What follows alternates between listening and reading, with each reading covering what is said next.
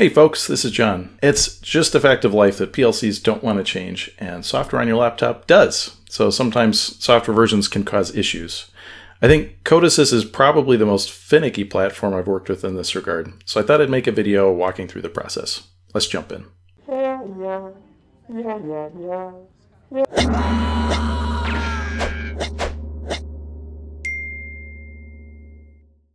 So my version of Codesys right here is version 3.5 Service Pack 19.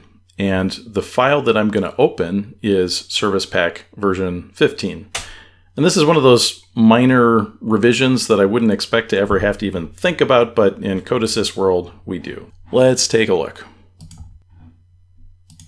This project has both a PLC uh, controller and a visualization project in it, so it will look a little bit more complicated and messy. It's it's not actually any harder, but uh, note that you might not see all of the errors and things that I do if it's just a PLC program.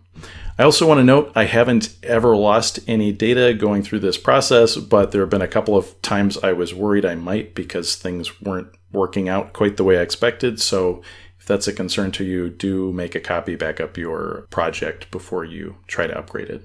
So the first thing we'll see is it already knows that this was Service Pack 15 version of the software, and it's offering two different paths to update things.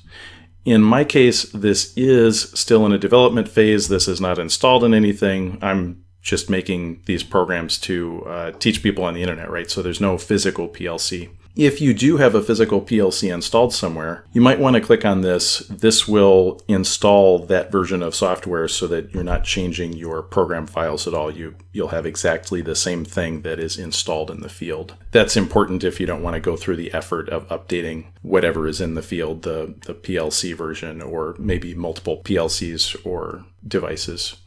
So I'm going to go this method. This is usually what I end up doing anyway, and it's, uh, I think, a little more complicated. So I click on this. Yes, it's in a development phase. I want to update everything that's in the project. Click on Finish. We'll give it 10 seconds to spin through things. The first thing it gives us is a, a, window talking about library differences. So there was a library version 3.5.15 before, and now it's recommending with my new installation, I have a newer library uh, version 17. And there are multiple tabs here, all sorts of stuff. I'm just going to click set all to newest. Why not? I think this makes sense. Uh, yes, do update all of that.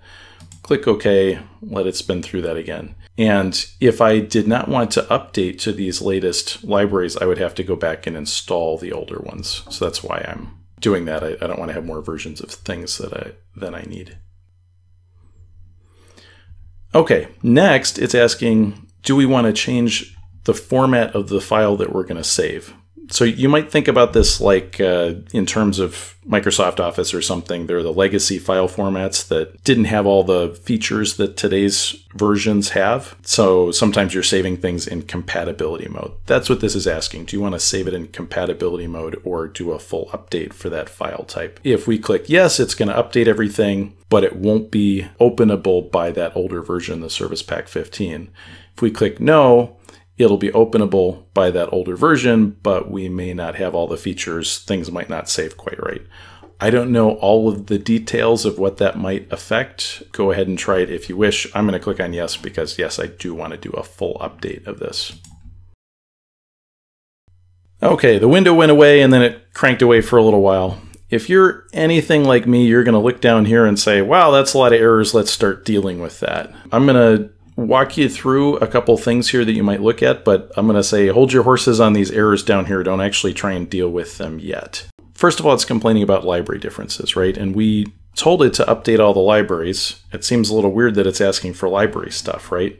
Again, I'm not going to do this right now, but I'm going to, the, there have been times when this has been helpful. So I'll show you what it is. So first is we can update, there's a placeholder, which means it's looking for a library that it can't find, so it has a placeholder in the project. And we can say, hey, update that to the newest version. And we can go down the line here and that will likely resolve most of the issues we have here, but we'll have to do it 37 times and it won't resolve all the issues. We can also go to the placeholders dialog, part of the library manager. You see the library manager in the background here right now. click on that, you'll notice that there are a lot of libraries it's looking for, and it's been able to find a couple of them, but it's it hasn't been able to find a whole lot here. So good thing to be aware of. Occasionally I've had situations where I might come up here in the library manager. If you don't have this open, uh, double click on this here. You'll get the library manager. Sometimes downloading missing libraries helps. Sometimes there's a button that shows up here that says something like update all placeholders to the latest version, which is equivalent to clicking on all these individually and saying update placeholder to new version. That again will clear some of these errors, but before we do any of that, this is probably the problem. Uh, in my experience, this is usually the thing that needs updating. So we, we ran it through the auto update, and now the program wants to run on a different version of the controller than it thinks the controller is. And I don't know why that auto update process couldn't handle that for us also, but if we right click on this device, go to update, it already knows what kind of device it is and it's offering the version 3.5.19. I'm going to click on update. We'll give it a little time to spin its wheels again and, and do whatever changes are happening in the background. It's not going to tell you when it's been successful, but the window went, it was kind of grayed out for a little bit and then came back. So anyway, this, this is updated now. I'm just going to click on close. Notice that the squiggly line went away on this, all of those red lines went away, all of these errors went away. I should be able to click on compile and we'll just give it a second to run through that. Should come back with no errors. And that means we didn't need to do all those little things, downloading new versions of libraries or anything else. And there we are, zero errors. I've worked in a lot of different kinds of PLC packages, and for me, this was a very confusing process. I hope walking through this with you makes it easier for you to do the same thing in your programming. All right, cheers. Thanks for watching. There's one thing I like more than making these videos. It's hearing what you have to say about them. So, um, leave a comment, share, like, or subscribe. Ooh.